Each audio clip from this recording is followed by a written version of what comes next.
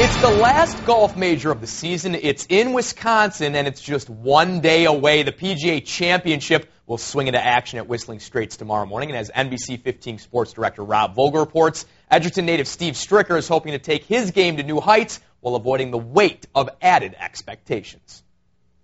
It's a label that's both a compliment and a bit of a scarlet letter. Best player not to have won a major. It may be a bit harsh, but it's fair to say it's a moniker that Steve Stricker wears at this week's PGA Championship. And for Stricker, he knows there is only one way to rid himself of it. It's an honor, really. I mean, tells you that you've been playing some pretty good golf and you just haven't been able to win one of the big ones, I guess. So I would love to play well here. To play well in front of the home fans and, and family and friends would be uh, an unbelievable experience. It'd be a nice one to do it at.